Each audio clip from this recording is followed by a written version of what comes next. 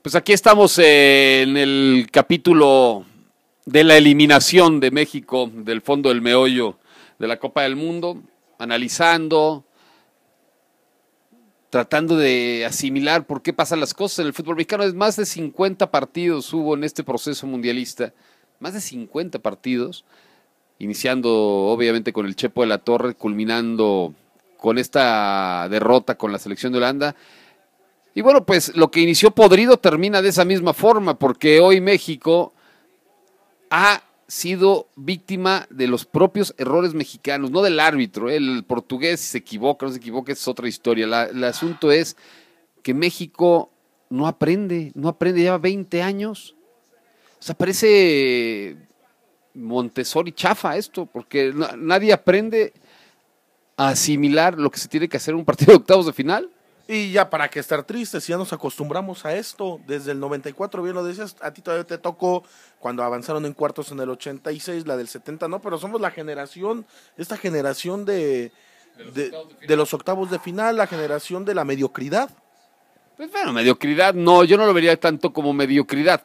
Sí, bueno, si dices que sí, porque está en el lugar 16 de 32, pues a lo mejor sí es muy mediano el asunto, pero no es tanto llegar a la mediocridad. O sea, era impensable que Miguel Herrera llevara a un equipo a la final de la Copa del Mundo, nada más tú y muy y muy muchos borregos que a lo mejor se dejan llevar por los medios de comunicación masivos de que hablan y hablan y que es maravilloso el equipo. Y el propio Miguel que decía que iba a llegar a la final. Yo se lo dije, frente, no va a ser campeón del mundo y no vas a llegar ni a semifinales, pero bueno, la realidad del fútbol mexicano es esa. No, de acuerdo, pero por ahí del minuto 70 no decías, creo que el Piojo tenía razón, 1-0 ganando México, pensando en que se podía enfrentar a Costa Rica y avanzar a semifinales. En algún momento yo hoy en el partido pasó eso por mi mente. México sí pudo haber sido semifinalista. Pudo haber sido semifinalista y creo que México fue su fue el propio enemigo. México fue enemigo propio, acaba de empatar Grecia. No sabemos cómo va a terminar cuando usted este video. No sabemos cómo va a terminar ese Grecia-Costa Rica. Mira, ponle para que veas cómo lo estamos viendo aquí. Vamos a poner el audio original.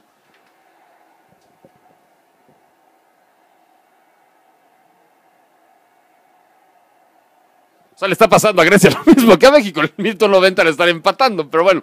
Eh, víctima de sus propios errores, sin duda. México, en los últimos 15 minutos, no tanto los 20, los últimos 15, haberle cedido la pelota a un rival que no quería la pelota, pues eso yo creo que cabe en la tumba, ¿no? Ahora, como en la semana se escuchaba, la CONCACAF está en tres equipos. Aquí no es ni la CONCACAF, es cada selección, más allá de si eliminan a Costa Rica, hoy lo de México es parte de la historia. No se va a poder crecer o avanzar a cuartos de final si no se estructura bien, si no se planea bien.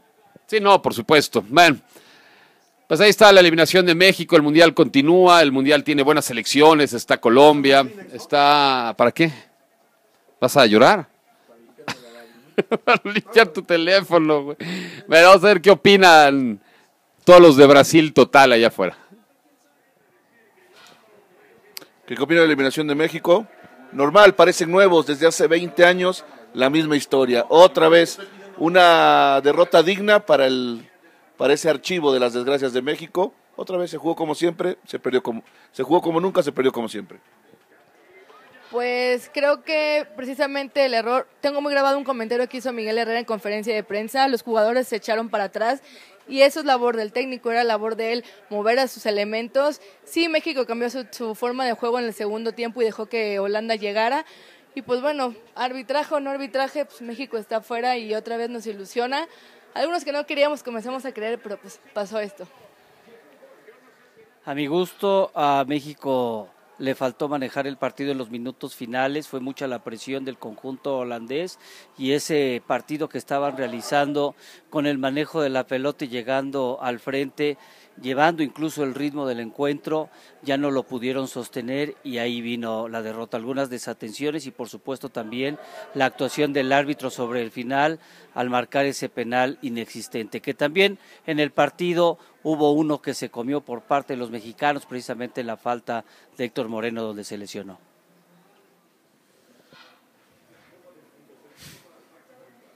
Una imagen vale más que mil palabras, ¿no?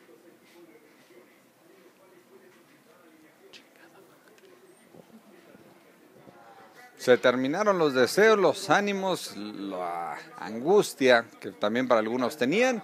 Al final se queda en lo mismo. México puede jugar espectacular, puede jugar un mal partido, puede llegar a enfrentar al tú por tú el que sea, pero termina quedándose en esos últimos minutos con las ganas de tener ese pase al ansiado momento histórico. Hoy otra vez le vuelve a suceder a la selección mexicana esa ansiedad porque se terminara el partido, le terminó por dejar fuera del Mundial.